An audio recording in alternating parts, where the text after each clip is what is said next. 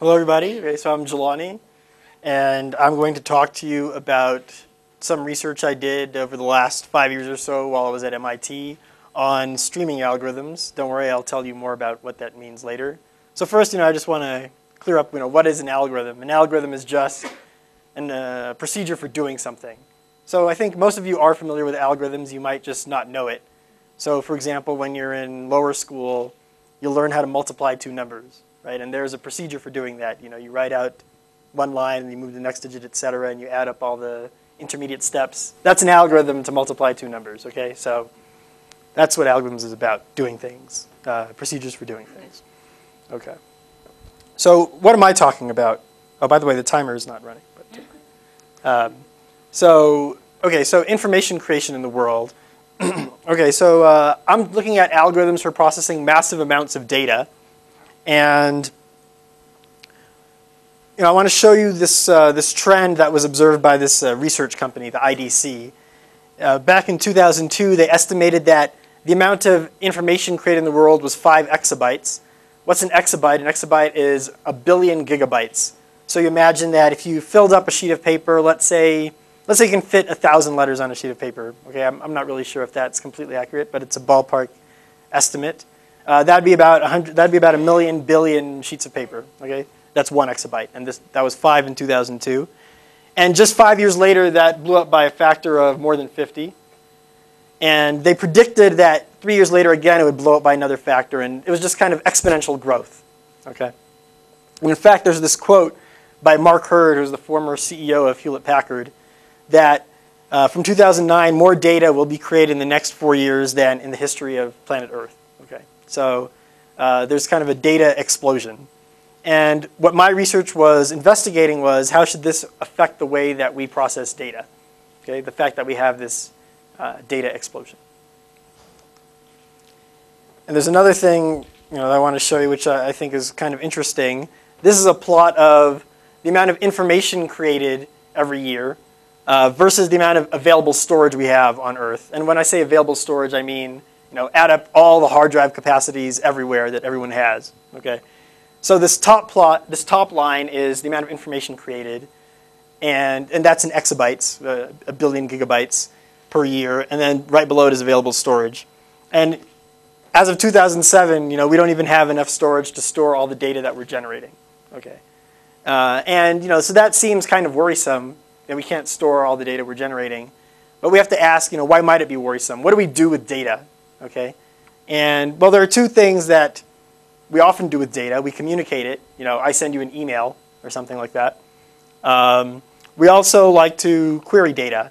So you imagine that you're some big company, you know, you're collecting lots of customer logs, et cetera, and you want to mine that data and understand, you know, what are people buying, what are the trends, et cetera, right? So you want to understand your data. Um, so that's what I mean by query it. Okay. So there are two techniques that uh, I'm going to talk about for for dealing with massive data, and that's sketching and streaming, and they're related. Okay. So what's sketching? Sketching is I have my data. You know, I have all the emails I've ever received, or I have all the customer orders I've ever received, etc. And there's some function of the data I want to know. For example, you know, what's the hot item that people are buying this month? Okay, so that's my function. And I know what kinds of functions I want to compute, and I want to compress the data in such a way that I can still recover the information I want just from the compressed form of the data. Okay? And this compressed form is what I'm calling a sketch, a sketch of the data. And what's streaming? Streaming is just sketching where you want to maintain the sketch of the data on the fly as you see more and more data. Okay? So I'm a, I'm a company here receiving my, I'm Amazon.com, right? I'm receiving orders. My data is the, is the, you know, the logs of all the orders I've ever received. And I, as I receive more and more orders, I want to maintain a sketch of that customer data on the fly, right? So that's a streaming problem. Okay. And I want to run through kind of a toy example uh, that um, compressing the works of Shakespeare. So here's the problem. Okay, so Shakespeare wrote a lot of stuff. Okay, imagine that I want to estimate what's the size of Shakespeare's vocabulary. And what I'm, what I'm allowed to do is I'm allowed to read through all his works just in one pass you know, every sonnet, every play, etc., every email he ever wrote. So that's a bad joke. okay, and I want to know what the size of the vocabulary is. And you know, naively, one way you might do it is, well, I'll have you know a dictionary, just kind of that starts off blank, and every time I see a word, I'll say, okay, I saw that word. Or maybe as I see new words, I'll you know write them up on a piece of paper. So, you know, I, I, I see why Romeo art thou mad. I say, okay, well, I, I've seen these words now. Okay, and then I keep going. I move on to another one, another line again from Romeo and Juliet. Some of these words I've seen already. In fact, uh, three of these, you know, Romeo's repeated three times in the same sentence, right? Okay, so I update what I've seen. And at the end, what I want to know is the size of his vocabulary. How many words did I see? Well, you know, I saw seven words here. And the point is, it's not, it's not just, you know, how many words were printed on the pages, because some words are repeated, right? I want to know what the size of his vocabulary is, how many distinct words were there. Okay, so this is one way of solving it. But you could imagine that, you know, over all the works of Shakespeare, this sheet would get really long, right?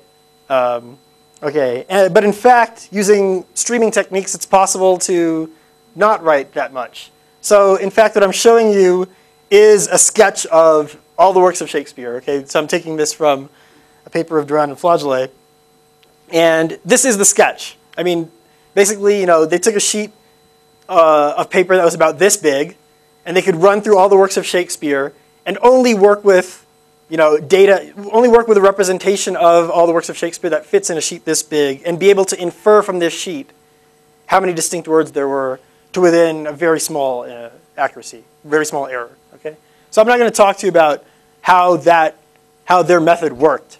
Okay, um, and in fact, you know, we have some better methods now, but I just want to show you that this is possible. This is what a sketch looks like. Okay, it's really short. Um, okay. Another uh, sketching and streaming example, Google Trends. I don't know, just show of hands. How many people have been to google.com slash trends? Anyone? I see, I see at least two, three, four. Okay, I see, I see, I see some hands. Okay, so what is Google Trends? It just keeps track of what are the hot searches. You know, what are people searching for right now? So I just took this uh, yesterday, actually. And so like item number one, Max Talbot, I believe he's a hockey player who recently, actually I don't know what he did, but Linda Evangelista, um, I don't know, you people know Salma Hayek? Uh, apparently her, uh, her husband uh, fathered a child with Linda Evangelista. So, so a lot of people were searching for her, I guess, yesterday for that reason. Fourth of July is coming up, so a lot of people were searching for Declaration of Independence and fireworks, Independence Day. Um, I don't know why Canada Day is around Fourth of July. Actually, the Canada Day just happened too, but uh, I guess it's very close to our Fourth of July. So. okay no, no, no offense to Canada. okay. Um, again, another example of, of sketching. So uh, this is, so this, this problem is called kind of, you know, estimating document similarity. So let me tell you what that's about. So, you know, we probably all here use search engines. And suppose that you're searching for something like, you know, a bio of Barack Obama or something, okay? Um, someone probably did a really good job of writing a bio and that bio is mirrored on lots of different websites. Okay, uh, but when you search for such a thing, when you search for this bio, you're going to have lots of results coming back, and you don't want them all to be the same bio, just mirrored on different web pages, right? You want to get some diversity in your results. And that's a problem that a lot of search engines had to face. AltaVista is the one that first looked at this problem back in the 90s. Uh, they're kind of, I think, dead now as a search engine, but they're the ones who first uh, who first did this. And there the problem is, you know, uh, you could go through the page. So, you know, the search engine figures out which websites are good hits for this, for, for a good match for your query. And now you need to filter out the duplicates. Okay, so you could go through the pages and just compare pairs of pages, and if something is a duplicate, toss it out. Okay, of course, it's not exact duplicates, it's near duplicates, right? Because Sometimes when I mirror a web page, I might change the font or change the background color or add some surrounding text or something. So these aren't going to be exact duplicates, but so near duplicates. But even then, you know, it's kind of slow to compare pairs of web pages, especially if the web pages are really big. Okay, um, and if it's slow to compare web pages and filter out the duplicates, what that means for you is it's going to be slow to get back the results from your query to the search engine. And they don't want that, and you don't want that either, right? Well, they don't want that because you don't want that. Uh, okay, so what they did was they sketched all the web pages that they crawled. So remember that little box? You could take a big web page, you know, doesn't matter how big it is, and sketch it to something really small so that you can compare the, just the sketches and see just how similar web pages are. And if they're too similar, they filter them out. And that's exactly what they do. That's what search engines do now. And that's what they've been doing since uh, AltaVista. Okay. So there are lots of things that uh, we know how to do now, right? Um, you know, we know how to go through Shakespeare and estimate the size of the vocabulary. Um, uh, we know how to de detect what's hot, how to compare web pages, etc.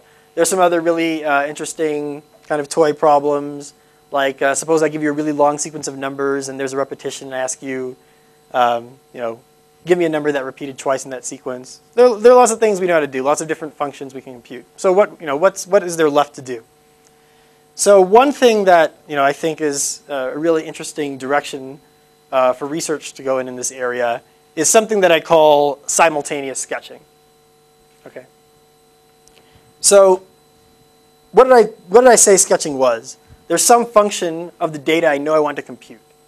For example, um, I know that I want to know what the hot queries were, right? And if I know what function I want to compute, there's a certain way I'll sketch the data, okay? And what I'm really interested in is what kind of one sketch to rule them all. Okay, so this is the, the one ring from Lord of the Rings. I am a fan of it. So um, and, and what that is is, well, you know, there's data coming at me, right? I'm Google, people are making queries. I'm Amazon, people are ordering things. And I might not know exactly what questions I want to ask about the data later.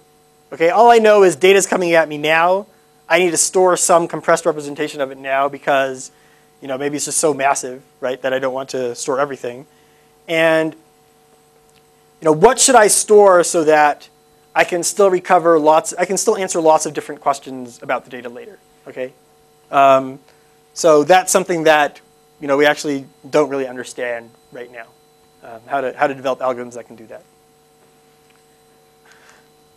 Another, uh, and the second and last thing that I wanted to talk about, uh, the final direction, is distributed computing on massive data. So as I said it with streaming, I, I, I, said it as if you know, you're a computer here, there's data coming at you, and you have to process it as it comes at you. But really, if you look at Google or other big companies, they don't just have one computer, right? They, have, they buy millions of computers, they're all networked up, they're massively parallel, and they can run massively parallel jobs on all, the, on all their data. Uh, MapReduce is in fact the system that Google has developed uh, for massive parallelization of computation.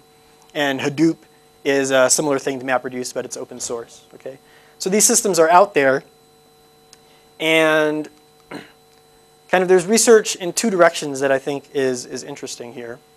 Uh, one is how can we model these systems rigorously, and by rigorously I mean mathematically, to then develop kind of good algorithms. And when I say good algorithms, I mean provably good. So model these things mathematically, and you know show what you can and can't do. So that's something that people have started working on only very recently, but there's still a whole lot of work to be done there. And another thing is, can we use kind of theoretical insight and mathematical understanding to guide how we should have developed these systems in the first place? Okay. Um, and with that, I just wanted to, to uh, thank you. So.